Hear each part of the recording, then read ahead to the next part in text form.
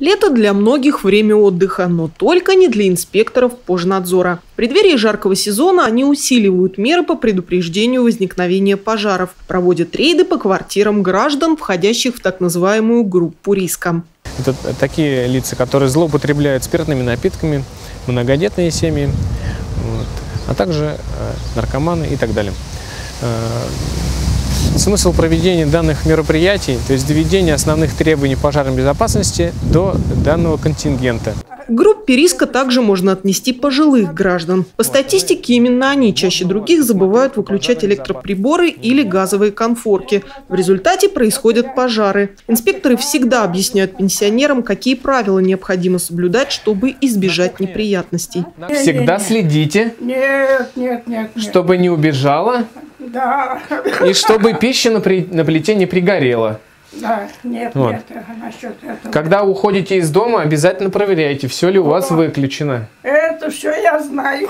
Хорошо, хорошо. Заодно инспектор проверил исправность розеток. На их состояние жильцы обычно обращают внимание слишком поздно. Чтобы случился пожар, достаточно всего одной искры. Розетки, а также электрические переборы должны использоваться э, э, без нарушения э, изоляции. То есть в исправном состоянии должны находиться. Вот. Пластиковая оболочка должна быть не повреждена. Жильцы следующей квартиры в маршруте инспектора о последствиях неисправности электроприбора знают не понаслышке. Пожар здесь случился не так давно. К счастью, никто не пострадал, но ущерб жилищу причинен существенный. Холодильник сгорелся. А, просто закоптилось, да? Да. Все Вот ясно. Я сплавил здесь весь шикарный он был. Вот такие дела. Серьез бывает. А, ну понятно. Пластиковый потолок, наверное, был, да? Ясно, ясно. А тут не горел, тут просто все расплавится. чё.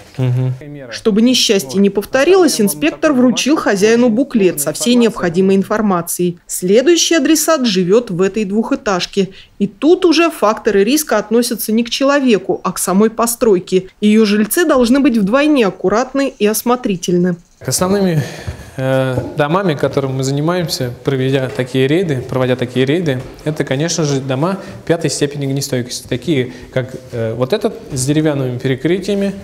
Вот, они вызывают основную опасность э, при возникновении пожара, поскольку деревянные перекрытия быстро э, про- прогорают и распространяется пожар.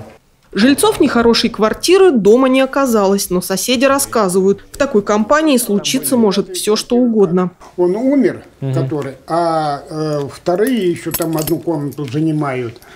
Тоже уехали уже больше года. И вот с которым, который умер, жили все пьяницы. И так и ходят до сих пор. Ясно. В Вот общем, так. алкоголь – это наш Да, враг. да, да, да. И курение дома тоже враг. А я выхожу. Отлично. Даем вот такую памятку по пожарной безопасности. Вы ее прочитайте.